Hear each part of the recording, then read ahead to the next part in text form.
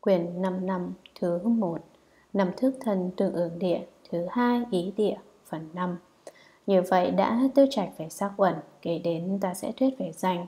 Nhiếp thuộc bốn vô sắc quẩn Tùy chỗ thích hợp mà kiến lập tướng. Như trong phần bản địa đã lập một tướng tâm này hiển thị trước. Như Thế Tôn nói, Nếu có chúng sanh chỉ phát một tâm Và một lời nói đối với Như Lai thế này, Bậc thiện thệ đại sư, Bậc thiện thệ đại sư chỉ cần pháp một tầm như vậy, ta nói người kia có nhiều thực hành đối với thiện pháp, vướng là thần ngữ tùy thuận phục hành như tâm lượng.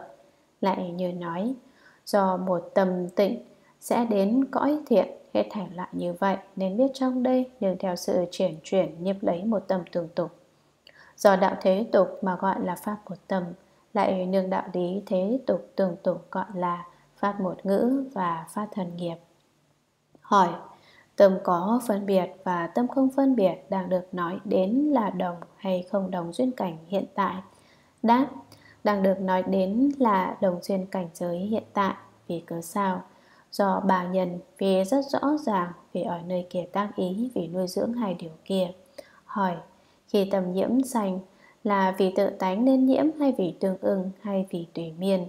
Đáp, vì tương ưng vì tùy miên chẳng phải vì tự tánh nếu tự tánh kia là nhiễm ô Thì lẽ như tham sẽ rốt ráo bất tịnh. Nếu vậy có lỗi lớn, Do tự tánh kia không nhiễm ô Nên nói khi tâm sanh tự tánh thành tịnh. Hỏi đối với nhân của hai chủng nhiễm ô tâm, Các phiền não chuyển phải nói thuộc lại nào? Đáp, phải nói là tương ưng Hỏi, trong đây những gì gọi là tùy miên? Đáp sở hữu thổ trọng của các phẩm phiền não Tánh không an ổn, lại nắm giữ các hành khiến tánh, khiến thành tánh khổ, cho nên bậc thánh do hành khổ hiện quán là khổ. Ở trong các hành mà an trụ quán khổ. Hỏi, quán thế nào?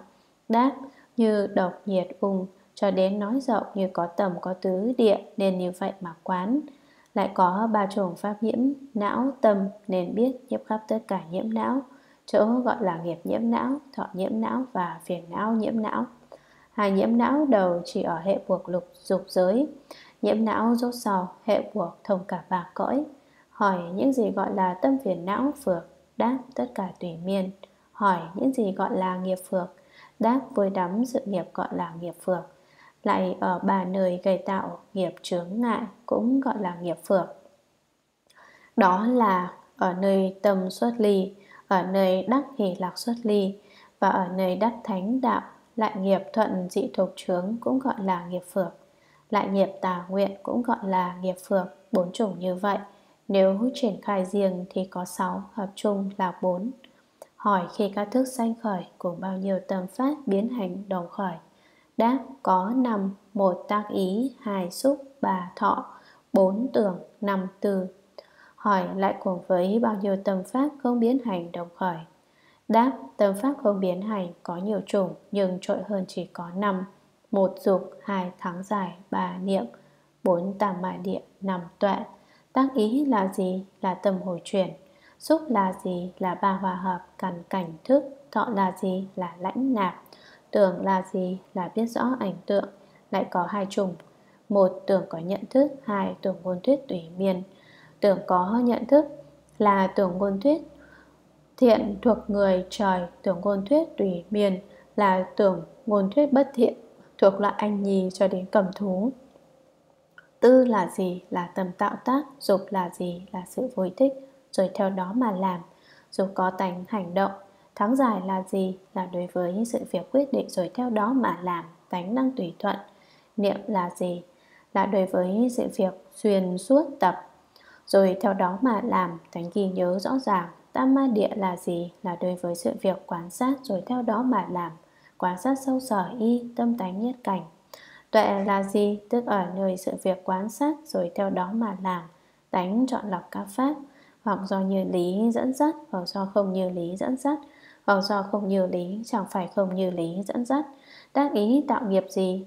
Là năng dẫn phát tầm pháp Xúc tạo nghiệp gì? Là tạo nghiệp làm chỗ nương của thọ tưởng từ Thọ tạo nghiệp gì là tạo nghiệp làm chỗ nương của sự yêu thích Tưởng tạo nghiệp gì là tạo nghiệp đối với sở duyên khiến tâm phát khởi trùng trùng lời nói Tư tạo nghiệp gì là tạo nghiệp khiến phát khởi Tầm tứ thần ngữ nghiệp Dục tạo nghiệp gì là tạo nghiệp phát động Thắng giải tạo nghiệp gì là tạo nghiệp đối với sở duyên giữ gìn công đức quá thất Niệm tạo nghiệp gì là tạo nghiệp đối với việc đã suy nghĩ, đã làm, đã nói từ lâu mà có thể nhớ nghĩ.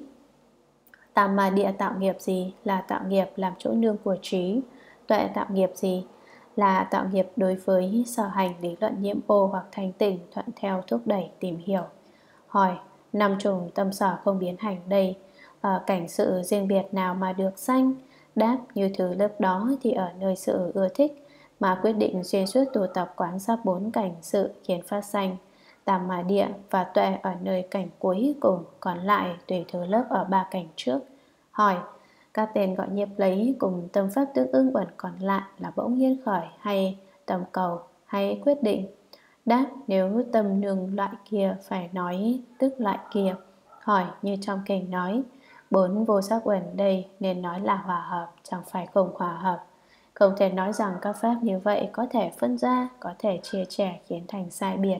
Cớ sao tướng thành thục của pháp kia khác nhau mà nói hòa hợp không có sự sai biệt. Đáp vì nhiều nhóm hòa hợp ở nơi cảnh sở duyên thọ dụng lãnh nạp, hiểu biết mới được viên mãn. Nếu không như thế, tùy khuyết một chủng, ở nơi sự sở vì lẽ không viên mãn. Hỏi các tâm tầm sở thường có bao nhiêu tên gọi sai khác? Đáp chúng có nhiều tên Đó là có sở duyên tương ưng Có hành có sở y vô lượng sai biệt Hỏi cớ sao nhãn cũng có cảnh giới Mà chỉ nói tên gọi của tâm tâm sở kia Là có sở duyên Chẳng phải là nhãn? Đáp do nhãn kia Lìa cảnh sở thủ Cũng sanh khởi được tâm và tâm sở Thì không như vậy. Hỏi cớ sao có tên là tương ưng? Đáp do sự, do xứ, do thời, do sở tác. Hỏi cớ sao có tên là có hành? Đáp Vì ở nơi một sở duyên tạo tác vô lượng chủng hành tướng sai biệt chuyển chuyển. Hỏi cớ sao có tên là có sở y? Đáp do mỗi một chủng loại nương cá Các sở y sai biệt mà chuyển. Để Pháp hữu vì không phải không có nương Nhưng không phải nghĩa nương mà trong đề nói đến. Vì chỉ có thường hàng sở y là đúng với nghĩa trên. Hỏi cớ sao vui so với thọ khổ? Khổ so với thọ vui hoặc khổ hoặc vui so với không phải khổ vui mà thuyết là xoay vần đối nhau. Đáp, do tự trùng lại của chính nó mà không đồng phận, nên có sự xoay vần đối nhau. Hỏi, cớ sao thọ không khổ không vui so với vô minh kia mà nói là xoay vần đối nhau? Đáp, do tất cả phiền não của các thọ đều là trợ bạn xoay vần đối nhau. Hỏi, cớ sao mình và vô minh nói là xoay vần đối nhau? Đáp, vì năng trị và sở trị hỗ tương đối nhau Hỏi, cớ sao mình và Niết Bàn nói là xoay vần đối nhau Đáp, do nhân quả phụ thuộc xoay vần đối nhau lại nữa cớ sao kiến lập bốn vô sắc quẩn là tánh thiện bất thiện vô ký? Vì tất cả không có sự sai khác vậy. Ốt Đà Nam nói Y xứ cùng tự tánh tương ưng thế tục thảy Nhuyến thảy sự sai biệt Được mất năng sở trị. Tánh thiện hỏi Y sử thiện pháp có bao nhiêu chủng? Đáp, lượng thuyết có sáu. Một Thời quyết định hai Thời dừng nghỉ ba Thời tác nghiệp bốn Thời thế gian thành tịnh năm Thời xuất thế gian thành tịnh sáu Thời nhiếp thọ chúng sanh Hỏi, những gì là tự tánh? Đáp, đó là tín tàm quý. Không tham, không sân, không si Tinh tấn, khinh an, không phóng giật, xả, bất hại. Các pháp như vậy gọi là tự tánh thiện. Hỏi sao nói là các pháp như vậy có nghĩa tương ưng lẫn nhau? Đáp thời quyết định có tín tương ưng. Thời dừng nghỉ tạp nhiễm có tạm và quý vì quá xét mình người. Thời tác nghiệp phẩm thiện truyền có không tham không sân không si và tinh tấn Thời đạo thế gian đi dục có khinh an Thời đạo xuất thế gian đi dục có không phóng giật và xả Thời nhiếp thọ chúng sanh có bất hại vì bi nhiếp lấy vậy Hỏi các pháp thiện đầy thế tục có bao nhiêu, thật vật có bao nhiêu? Đáp thế tục có ba, không phóng giật, xả và bất hại. Vì có sao? Vì không phóng giật và xả là phần không tham, không sân, không si và tinh tấn, tức là pháp như thế. Nghĩa lìa tạp nhiễm nên kiến lập là xả, nghĩa đối trị tạp nhiễm nên lập không phóng giật. Bất hại tức là phần không sân, không có riêng thật vật. Hỏi, những gì gọi là thiện căn phẩm hạ Đáp là sở hữu thiện căn ở các bất định địa hoặc tại định địa hoặc năng đối trị phiền não phẩm thượng. Hỏi những gì gọi là thiện căn phẩm trung. Đáp hoặc thiện căn thế gian ở định địa Hoặc năng đối trị phiền não phẩm trùng. Hỏi những gì gọi là thiện căn phẩm thượng, Đáp là sở hữu thiện căn của xuất thế gian Hoặc năng đối trị phiền não phẩm hạ, Lại các thiện pháp hoặc do lực gia hạnh Hoặc do lực xuyên suốt tụ tập Hoặc do lực tự tánh Hoặc do lực điển sĩ Hoặc do lực thành tịnh, Nên biết thành tựu phẩm thượng Hỏi, Lục thiện căn sành nường bao nhiêu chủng sự Đáp, nếu lược thuyết thì nương tám chủng sự, một sự thí chỗ thành tựu phước nghiệp, hai sự giới chỗ thành tựu phước nghiệp, ba sự tu chỗ thành tựu phước nghiệp, bốn sự do văn mà thành tựu, năm sự do tư mà thành tựu, sáu sự do tu mà thành tựu, bảy sự do chọn lựa mà thành tựu, tám sự do nhiếp thọ hữu tình mà thành tựu.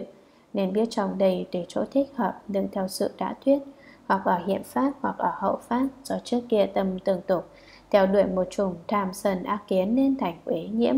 Đã bị uế nhiễm rồi do đối trị khiến không trở lại tương ứng kia. Hỏi, những gì gọi là thiện pháp sai biệt? Đáp, hoặc có một chủng cho đến 10 chủng như trong phần bản địa đã rộng tuyển thuyết, lại các thiện pháp đây, hoặc do đối trị tạp nhiễm, hoặc do tạp nhiễm lặng dứt, hoặc do nhiếp thọ quả khả ái, hoặc do thành tịnh tương tục, hoặc do cúng dường, hoặc do nhiếp thọ hữu tình cần phải rõ biết tất cả thiện pháp sai biệt như vậy. Lại nữa, thiện pháp không có lỗi lầm. Vậy có công đức gì? Công đức thiện pháp có vô lượng trùng. đó là năng sửa trị, thanh tịnh tâm khiến lìa phiền não triền và tùy miên. Năng khiến ở nơi sở duyên không bị điên đảo. Năng khiến thiện căn kiên cố bất thối. Năng khiến hành đẳng lưu tương tục chuyển.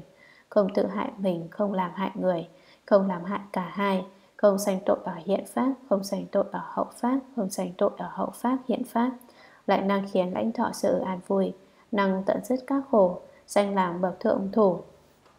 Lại năng tăng trưởng thắng giải niết bàn, năng tiến gần niết bàn, năng khiến tài bảo địa vị không suy mất. Và trong đại chúng dũng mãnh không sợ hãi, danh sừng liều bố rộng khắp mười phương, được các bậc hiền thánh xưng khen. Lúc mạng chung không danh ưu hối, sau khi thần hoại, sẽ sanh về các đường thiện. Nếu nơi các thiện pháp không bị thối thất sẽ năng nhanh chóng tùy chứng tự nghĩa như mong muốn.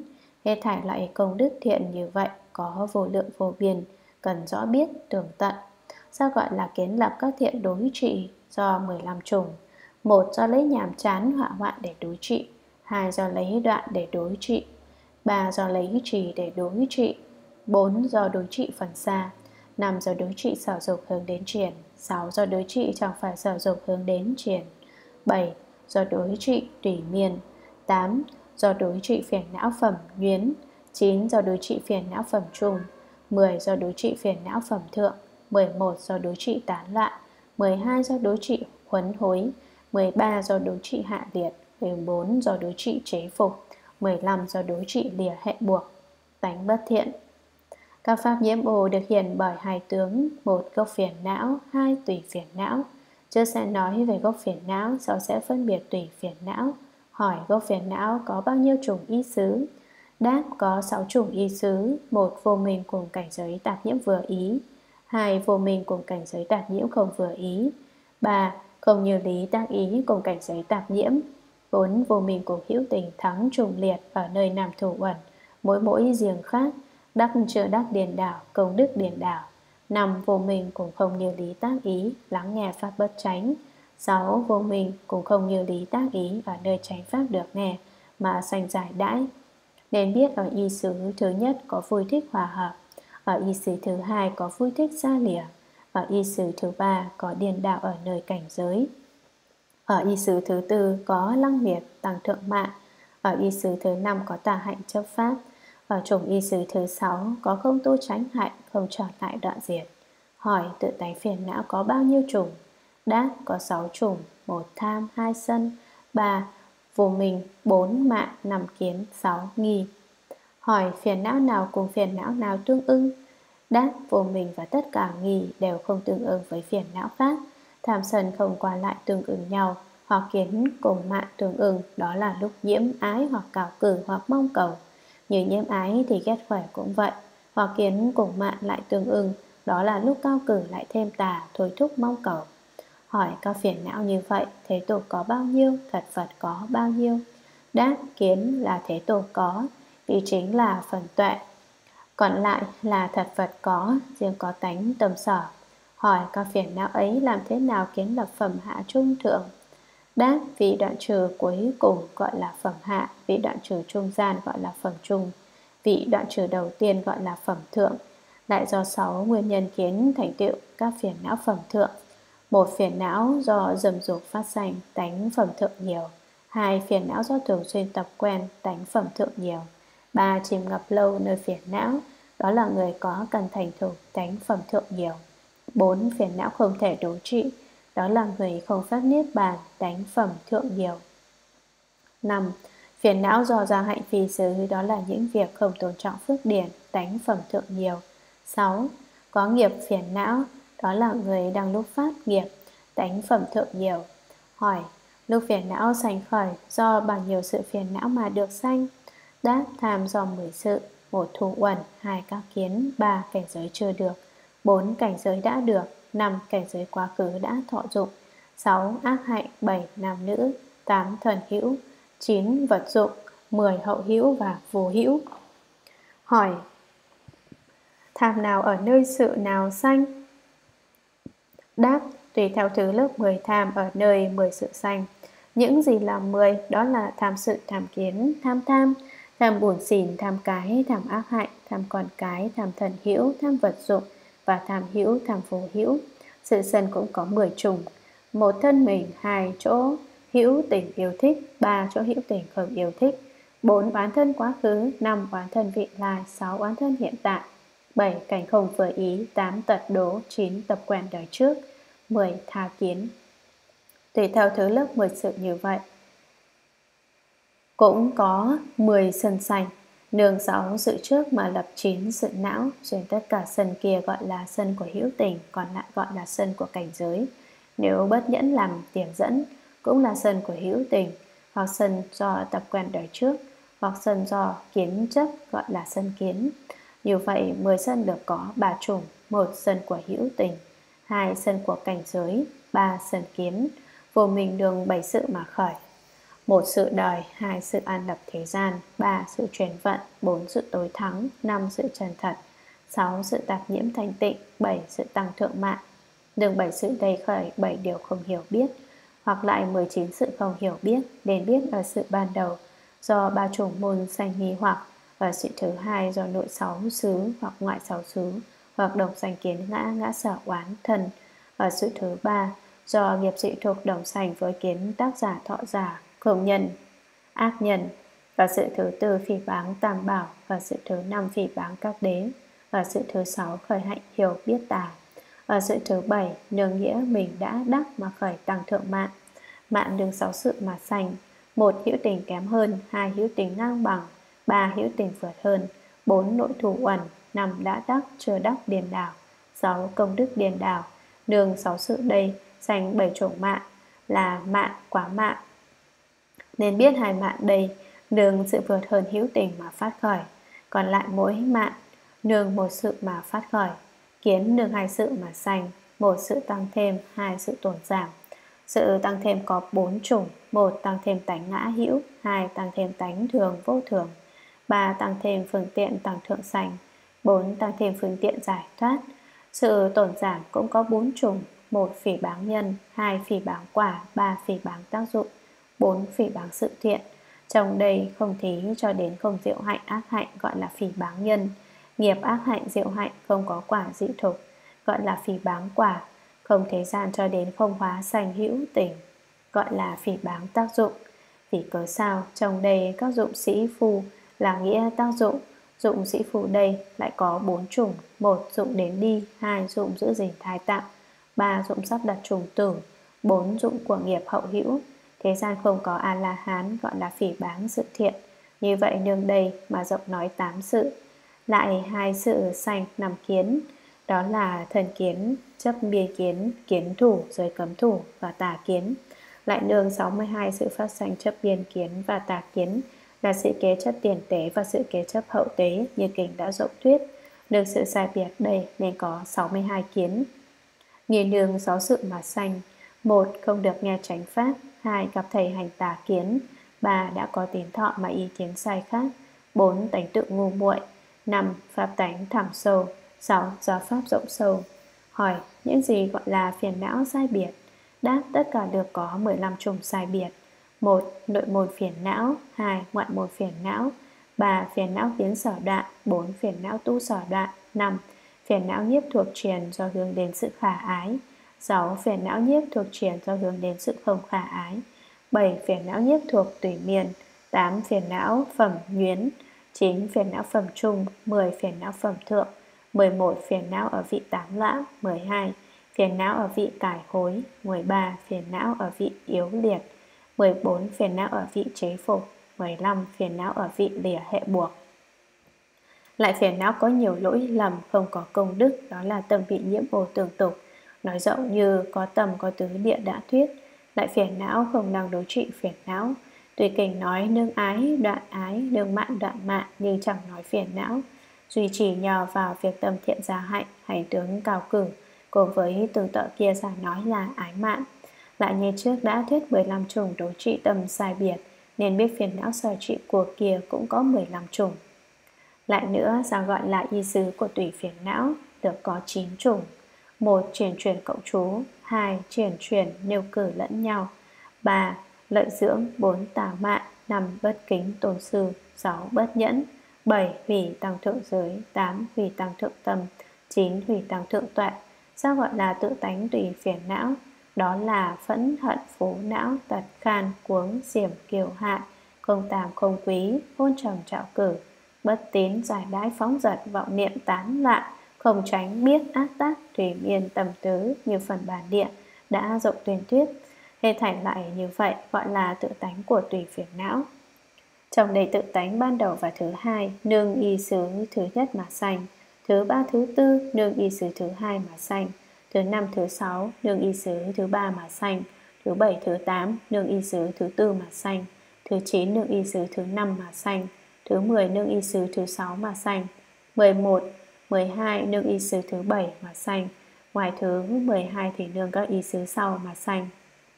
Nên biết trong đây Hủy tăng thượng tâm, hủy tăng thượng tuệ Do ba môn truyền một do hủy môn tướng chỉ. Hai do hủy môn tướng cử. Ba do hủy môn tướng xả. Hồn trầm thủy miên do y sứ ban đầu mà sanh Trọng cường ác tác do y sứ thứ hai mà sanh Bất tín cho đến tầm tứ do y sứ thứ ba mà sanh Do gọi là tùy phiền não chuyển chuyển tương ưng, Nên biết không tạm không quý, Tương ưng với tất cả bất thiện. Bất tín, giải đãi, phóng giật Vọng niệm, tán loạn, ác tuệ, Tương ứng với tất cả tầm nhiễm ô Thủy miền ác tác tương ứng với tất cả thiện, Bất thiện, vô ký. Còn lại nên biết xoay vần, không tương ứng nhau. Sao gọi là tùy phiền não thế tục có bao nhiêu, thật Phật có bao nhiêu. Vì phẫn hận, não tật hại thuộc về phần sân, Đều là thế tục có, Vì khan kiều trạo cử thuộc phần tham đều là thế tục có. Vị phú cuống diểm hôn trầm thủy miên ác tác thuộc phần si đều là thế tục có. Không tạm không quý, bất tín giải đãi là thật vật có. Phóng giật là giả có như trước đã thuyết. Vì vọng niệm tán loạn ác tuệ thuộc phần si nên tất cả đều là thế tục có. Hai chủng tầm và tứ là phần giác hạnh của tâm phát ra lời nói và phần tuệ nên đều là giả có. Sao gọi là thành tựu tùy phiền não phẩm hạ trung thượng, Nên biết đã thuyết về gốc phiền não Thì tùy phiền não cũng vậy. Như vậy hoặc sự, Hoặc sai biệt, hoặc lỗi lầm, Hoặc sở trị của tùy phiền não, Nên biết tùy theo chỗ thích hợp Đều như phiền não. Tánh vô ký. Hỏi, những gì là y xứ của Pháp vô ký? Đáp, được có bốn chủng y xứ Là nghiệp dẫn dắt khiến sanh Dành rồi hoặc đi, đứng hoặc nuôi dưỡng mạng hoặc tam mà địa sai biệt. Hỏi hoặc tự tánh của các pháp vô ký là gì? Đáp là uẩn dị thuộc sanh, là nhiếp thuộc gia hạnh trùng dung, cái thức oanh hì và công xảo xứ hoặc biến hóa nhiếp vào gia hạnh chỉ để vui chơi. Hỏi sao gọi là kia chuyển chuyển tương ưng? Đáp cái thức oai hì và công xảo xứ hoặc có lúc chuyển chuyển tương ưng như nói, hoặc có lúc có sự nghiệp hạnh dễ làm Chẳng phải đứng, chẳng phải ngồi, cũng chẳng phải nằm. Cho đến hoặc có sự nghiệp đều dễ làm Hoặc đi hoặc đứng hoặc ngồi hoặc nằm Như kinh đã nói rộng. Còn lại không có chuyển chuyển tương ứng. Hỏi các pháp vô ký đầy thật vật có bao nhiêu? Giả có, có bao nhiêu? Đáp Vì ở dị thực nghiệp lấy các uẩn và trong tầm gia hạnh sai biệt mà thi tiết nên biết tất cả đều là thế tục có. Hỏi sao gọi là vô ký thành tựu phẩm hạ trung thượng? Đáp, đó là dị thộp sành và cách thức hoài nghi không mãnh lợi đều là phẩm hạ, tánh nhạy bén, ở nơi các cầu xảo xứ gọi là phẩm trùng, tánh biến hóa cực nhạy bén gọi là phẩm thượng, lại có bốn chủng loại, mỗi loại đều có sự khác biệt. Đó là dị thuộc vô sắc giới là phẩm hạ, dị thuộc sắc giới là phẩm trùng, dị thuộc dục giới là phẩm thượng, hoặc ngồi hoặc nằm là oai nghi bậc hạ, đứng là oai nghi bậc trùng, đi là oai nghi bậc thượng. Nghiệp tập ban đầu là công xảo bậc hạ, thường xuyên tập là công xảo bậc trung, khả năng làm thầy là công xảo bậc thượng, tu tàm ma địa phẩm hạ, sở đắc là biến hóa bậc hạ, tu tàm ma địa phẩm trung, sở đắc là biến hóa bậc trung, tu tàm ma địa phẩm thượng, sở đắc là biến hóa bậc thượng. Tất cả loại như vậy là bậc hạ trung thượng sai khác. Hỏi cao vô ký đây nương sự nào sanh? Đáp được thuyết thể nương 12 sự như trong văn sở thành điện đã thuyết. Hỏi, sao gọi là các vô ký sai biệt? Đáp, vì dị thục xanh của năm đường riêng khác, nên có năm chủng sai biệt hoặc vì cách thức oai nghi sai biệt nên có bốn chủng sai biệt hoặc vì công xảo xứ có 12 sự sai biệt, tức là 12 chủng sai khác vì dị thục vì dị sanh thành văn độc giác Bồ Tát như lai sai biệt vì vui chơi vì lợi người mà hóa hiện thần ngữ xài khác nên biết có 8 chủng biến hóa xài khác do sai biệt đây tức là nhiều sự việc khác nhau nên không nói riêng lại dị thục sành thì một hướng vô ký, còn hai bà thì có thể đắc. Một có hai chủng, hoặc nường kỹ nhạc vui chơi, dụng tầm nhiễm ô mà phát khởi oai nghi chính là tánh nhiễm ô. Hoặc nường tịch tĩnh tức là tánh thiện, hoặc nường nhiễm đắm mà phát khởi công xảo chính là tánh nhiễm ô. Hoặc khéo gia hạnh mà phát khởi công xảo tức là tánh thiện. Hoặc vì dẫn đường cho người hoặc vì lợi ích các hữu tình mà khởi biến hóa nên biết là thiện, đây không nhiễm ổ